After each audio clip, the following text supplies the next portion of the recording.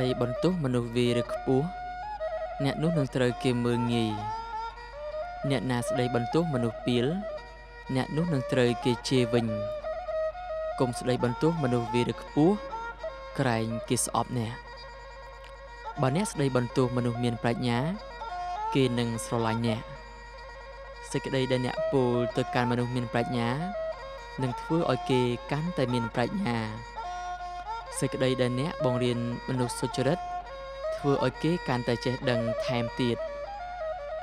ការគោរពកោតខ្លាចព្រះអម្ចាស់ជាប្រភពនៃប្រាជ្ញា ការស្គាល់ព្រះជាម្ចាស់ជាចំណេះរបស់ប្រជាជនដ៏វិសុទ្ធ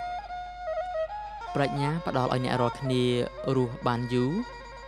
ប្រាជ្ញាធ្វើឲ្យអ្នកមានអាយុវែងបើអ្នកមានប្រាជ្ញា អ្នកនឹងទទួលផលល្អសម្រាប់ខ្លួនឯង បើអ្នកវារខ្ពស់អ្នកនឹងទទួលផលវិបាកសម្រាប់ខ្លួនឯង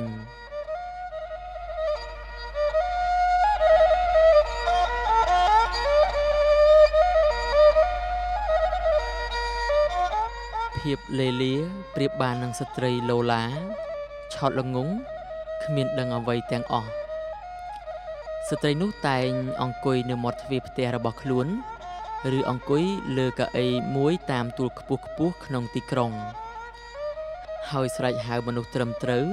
ដែលដើរកាត់តាមនោះថា មនុស្សល្ងងខ្លៅអើយចូលនាំគ្នាចូលមកទីនេះរីឯមនុស្សដែលគ្មានប្រាជ្ញា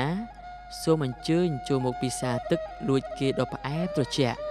ហើយបរិភោគអាហារលួចលាក់ដ៏ឆ្ងាញ់ពិសា អ្នកដែលស្ដាប់តាមស្ត្រីនោះពុំដឹងថាខ្លួនកំពុងទៅដើរឆ្ពោះទៅរកមច្ចរាជ ហើយក៏ពុំដឹងថា